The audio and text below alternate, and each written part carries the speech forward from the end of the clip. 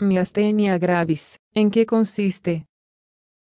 La miastenia gravis es una enfermedad autoinmune que se caracteriza, principalmente, por debilidad de los músculos que se controlan de manera voluntaria. Se trata de una patología en la que el sistema inmunitario ataca a los receptores de los músculos que permiten que estos se muevan de manera normal, es decir, se interrumpe la conexión entre los nervios y los músculos, por lo que estos no pueden trabajar correctamente. El término de miastenia gravis procede del latín y significa debilidad muscular grave. Se estima que afecta a uno de cada 5.000 personas, aunque puede ocurrir a cualquier edad, es más frecuente que aparezca antes de los 40 años en las mujeres y tras los 50 en los hombres. Es una patología muy incapacitante y compleja que aún no tiene cura. No obstante, existen ciertos tratamientos que permiten aliviar los síntomas. En este artículo te explicamos todo lo que debes saber sobre la miastenia gravis. ¿En qué consiste la miastenia gravis? Para entender esta patología, primero necesitamos comprender ligeramente el funcionamiento de los músculos. Los músculos presentan unos receptores que reciben señales químicas procedentes de los nervios.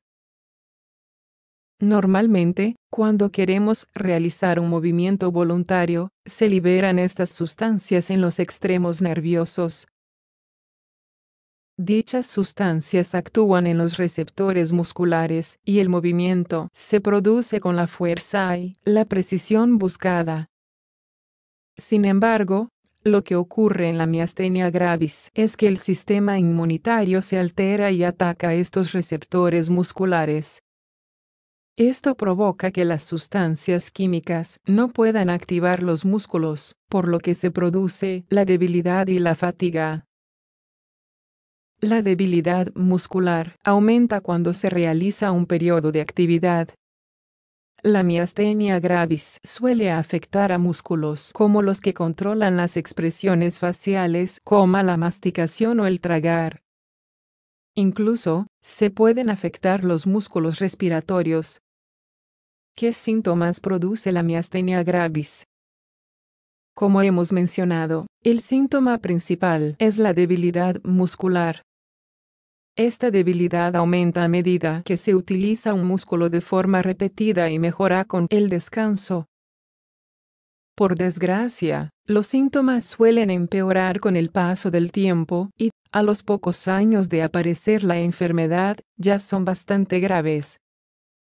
Se pueden afectar numerosos grupos musculares, pero los que se afectan con más frecuencia son los músculos oculares, la mayoría de personas que sufren miastenia gravis presenta problemas de visión, como por ejemplo visión doble. Además, suelen tener un párpado caído, o ambos. Gran parte de los enfermos tienen dificultad para hablar. La voz suele tener un tono nasal y suave.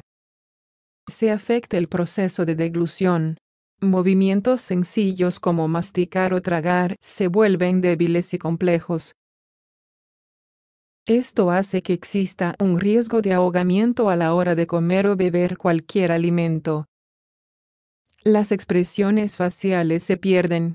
Los enfermos de miastenia gravis a menudo no pueden sonreír con normalidad. Por otra parte, la debilidad puede aparecer en las extremidades o en el cuello. Cuando esto ocurre, la capacidad para caminar o mantener la cabeza en una posición natural se altera y la cabeza tiende a caer hacia los lados. ¿Cómo se diagnostica? Para poder diagnosticar la miastenia gravis, en primer lugar, el médico necesita conocer todos los síntomas y todos los aspectos de la historia clínica. Después realizará una exploración física exhaustiva, Además, se suelen necesitar numerosas pruebas complementarias para confirmar el diagnóstico. Por ejemplo, los médicos realizan un examen neurológico para comprobar la fuerza y tono muscular, coma los reflejos, la coordinación, etc. Los análisis de sangre también aportan información bastante útil para el diagnóstico. Como hemos explicado, se trata de una enfermedad autoinmune, por lo se suelen encontrar anticuerpos específicos en la sangre del enfermo. También se utilizan otras pruebas como son prueba de la bolsa de hielo, que sirve cuando el paciente presenta un párpado caído, se coloca la bolsa sobre el párpado durante unos dos minutos y después se analiza si existe movimiento en esa zona. Estimulación repetitiva de un nervio. Esta prueba permite mandar impulsos a través de los nervios para comprobar si consiguen estimular al músculo. En conclusión, la miastenia gravis es una enfermedad compleja que consiste en la debilidad muscular. Puede afectar a partes diferentes del cuerpo como los ojos, las extremidades o los músculos respiratorios. Se trata de una patología grave que pone en riesgo la vida de quien la sufre. Además, aún no existe una cura, por lo que es esencial acudir al médico ante cualquier síntoma para que él instaure el tratamiento más adecuado para controlar los síntomas.